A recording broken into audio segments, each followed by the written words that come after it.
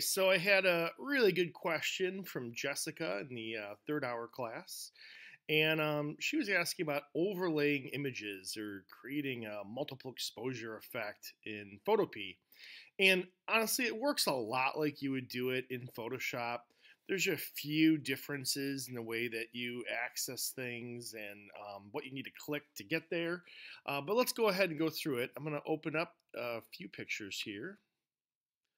So this might be a good one to work with. I try to find pictures that um, connect well with each other, like thematically and also um, spatially. I think this has a lot of nice negative space that I could work with with another picture. And let's open up one more. this picture I took a while back in my dad's garden of this old sculpture, and I think this could be a nice connection. Uh, what you're going to need to do is we're going to need to copy this. Now, normally I would just drag the layer over, but you can't drag these out of these places because of the way that the uh, software is set up. So what I'm going to do instead is I'm going to use a selection tool. Just grab this, and then I can copy that and then I'm going to go back over to the garden sculpture picture and go ahead and click paste. Now, that came in when I pasted it as a separate layer, so that's good to remember. Um, obviously, it's not the same size. I didn't shoot that with the same camera, and um, this quality or this image size is a little smaller. So we need to change the size of it, and the way that we're going to do that is, sorry, it's under edit, we'll click the free transform. And then what you're going to want to do is hold shift while you do this so that it keeps the aspect ratio. And then we're just going to drag that until it's about the same size as the other picture. And I'll go ahead and say yes to confirm it. And then honestly, all you need to do is up here, and I have this uh, positioned kind of close here. Maybe I can drag this out little bit maybe I can't. Um, but if you go up here to where it says uh, normal, ooh, there we go. That's what I want to do. I want to have a little more space here.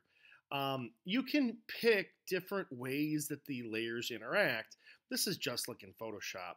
So let's try a couple out. Um, probably my first inclination would be to use overlay. That's kind of an interesting um, combination there. You could also just leave it normal and drop the opacity of the layer down a little bit and that could be kind of a nice look. There's some other things that we could do. If I go down a little bit, there's difference that creates almost like an inversion of the uh, picture. And exclusion, that's kind of pleasant looking, like how that looks. And subtract is different. That's don't like that. Um, but you can play around in here a little bit and just see what looks good to you. I'd encourage you to experiment with different ways that these combine, and they're going to have different effects based on what photographs you're merging together. So each one is kind of its own thing. Um, so I would experiment and see what you like best. I'm liking that. I think I uh, think that's the one for me right there. So I have it the way I want it. What you'd want to do then is you can save it as a PSD to keep the two layers, right? So that way you can continue to re-edit.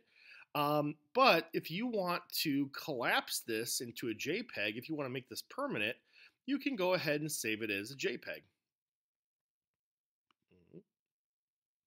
And just like you did before, um, that's the format. These are the dimensions. I like to turn my quality up all the way. Sometimes this thing lags a little bit. My internet connection's not the quickest.